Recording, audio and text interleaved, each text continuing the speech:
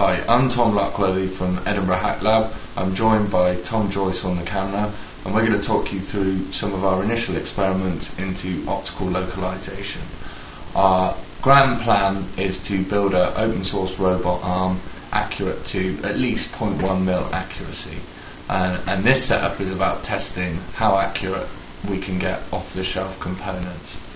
Um, so here we have mounted is a USB camera, the Microsoft Live 3000, and we've set that up so it faces this pattern here, uh, and we've printed off these dots, so we know their relative distance to each other, uh, but what we don't know is where they are precisely in relation to the camera, and we'll be using software to try and estimate that.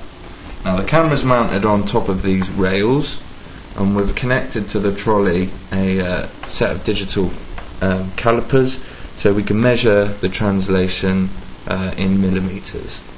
Now this trolley is pulled by a pulley which is connected to a gear train to an electric motor. We found um, if we tried moving the trolley by hand we'd introduce a lot of shakes. Uh, so this is how we can get quite a lot of accuracy by decoupling ourselves from the system. So I'll try and turn it now. Oh, moved it a bit far. Uh, that's it now 5.4 millimeters. If I can try and do a little one. There we go. Now at 6.8 millimeters. So by using this setup, we can move the camera small amounts and uh, see what, what the software thinks. Uh, the distance from the camera to the pattern uh, is a full 65 centimeters. Uh, the camera is connected to the control system over here.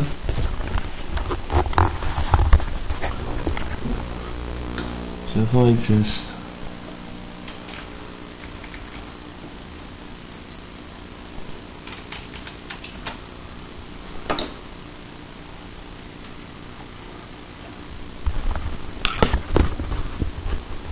So the software we're using is the robot operating system uh, and a vision processing software called Vision Visp by the Lagadic University.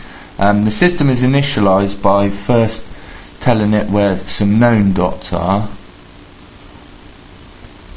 and then uses those to estimate um, a full set of uh, to estimate the remainder of the positions. Um, and then this is now a piece of software we wrote uh, using some of OpenCV's functionality. What we do is, based on these positions, we estimate a homography matrix which transforms between screen coordinates to world coordinates. And we use a robust method so that when one uh, dot loses its tracking, uh, that value is not used in the estimation of the homography matrix, and furthermore, we use the good dots um, to re-estimate the position so that things can so the the dots can fail and they're regenerated. So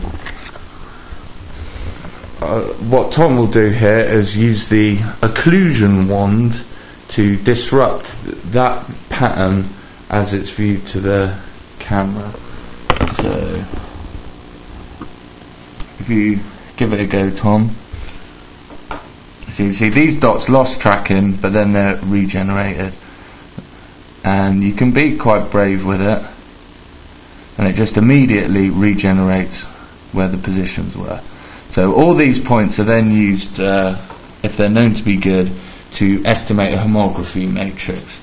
Now, the idea of our actual experiments uh, is to try and correlate the movement of the trolley with the values in the homography matrix and we'll be able to use that to estimate how accurate our system is. And here's the results we got. Uh, we got a great linear relationship and what we found was the predicted error in the system was much less than we could measure. So we were aiming at 0.1 mil accuracy. We definitely achieved 0.1 mil accuracy. We think it's a lot more accurate than that. but our calipers are only accurate to 0.1 mil accuracy, so we don't really know how accurate we've managed to get this system. Uh, we probably need better Lego skills uh, to investigate further. Um, all of this is written up on Edinburgh Hack Lab. Uh, the data's there. Uh, enjoy. Thanks.